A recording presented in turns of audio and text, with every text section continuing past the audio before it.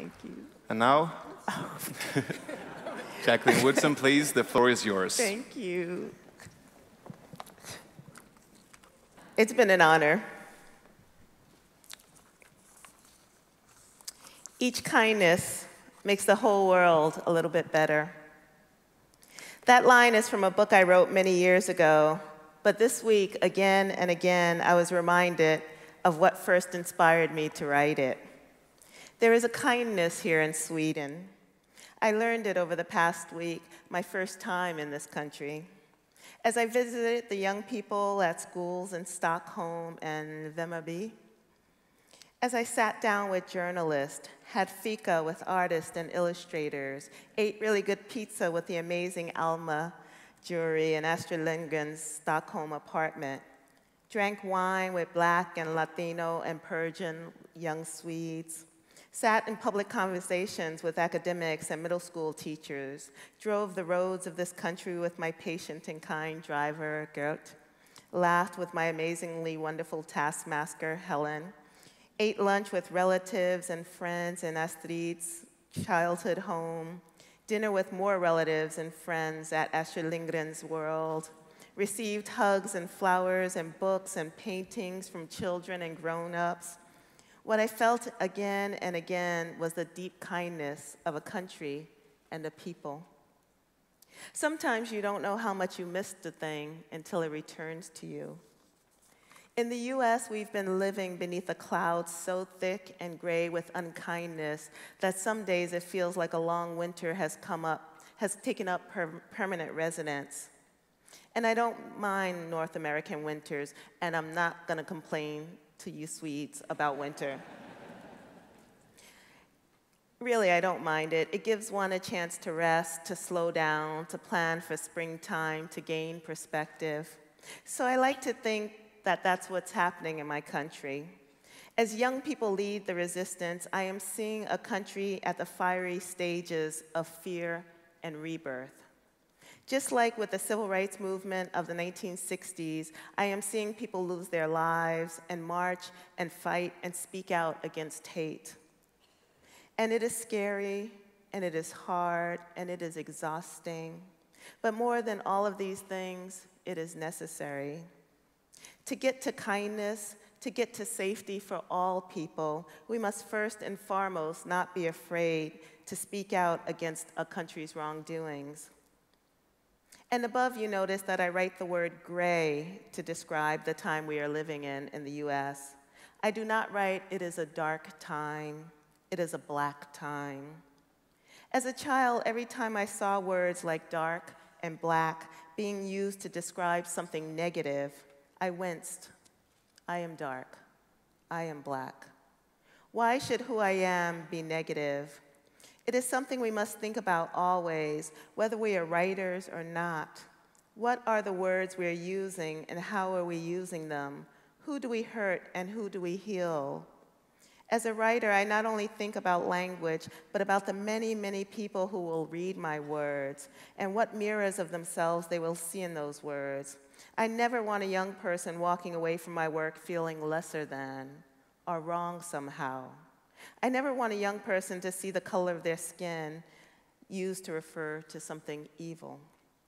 So yes, in the US and in so much of the world, as the alt-right seems to gain power, as civil rights laws get repealed, as women's bodies and brown bodies and immigrant bodies are constantly threatened, as unjust laws once again separate brown children from their parents, first via enslavement, then via mass incarceration, and now via deportation laws, let us keep remembering that like every great children's book ever written, you can't have sadness without hope. Astrid showed us this. There must always be a brightness at the center of that which feels so difficult. And with that, and with that which is difficult comes a call to action. Tonight is a glorious evening, and I'm so grateful to be here. But tomorrow, I get back to work. As I move through this country this week, again and again, I'm reminded that first and foremost, we must remain kind.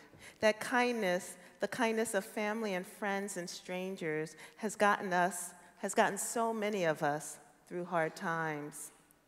When the phone rang that very, very early morning in March, my partner and I didn't hear it, thankfully.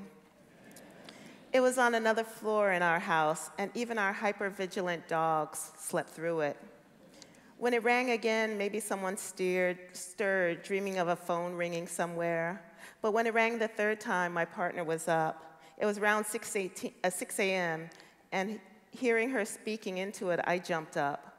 A phone ringing at, ringing at the crack of dawn is rarely good news.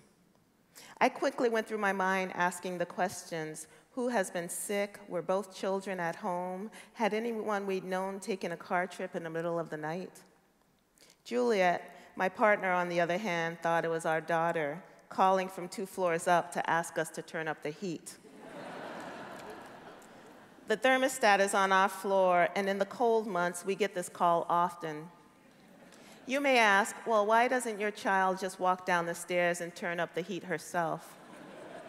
But if you're asking that question, you are not a parent to a teenager. but when Juliet handed the phone to me and an accident voice asked, Is this Jacqueline Woodson? I exhaled. No tragedy. Tragedy didn't come via the name Jacqueline Woodson. And as my half asleep brain raced around wondering what or who or why, the voice said, This is Helen Sigeland. I'm calling you from Bologna to let you know you're this year's recipient of the Astrid Lindgren Award. Of course, I'm probably paraphrasing this because remember the half asleep thing. then she asked if I knew about this prize. What came to mind was Pippi Longstocking. And I think that's what comes to most American minds because Astrid Lindgren wasn't published wasn't translated when I was a young person, aside from those stories.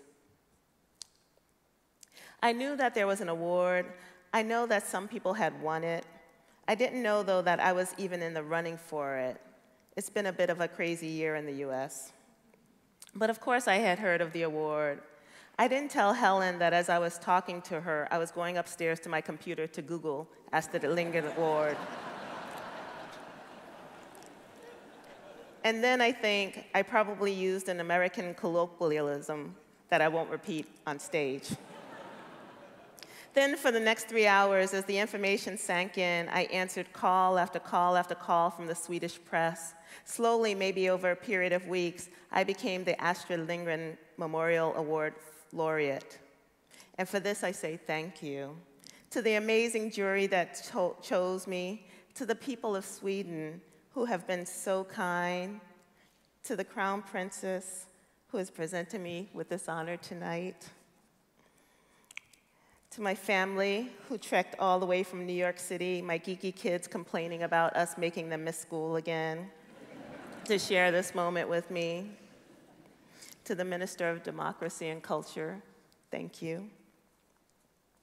To Astrid Lindgren, for her own deep respect of young people and for the value of their narratives.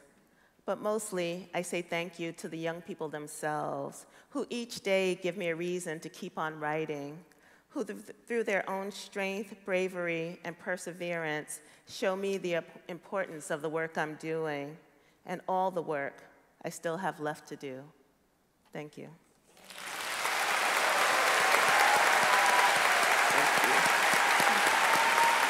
Thank you.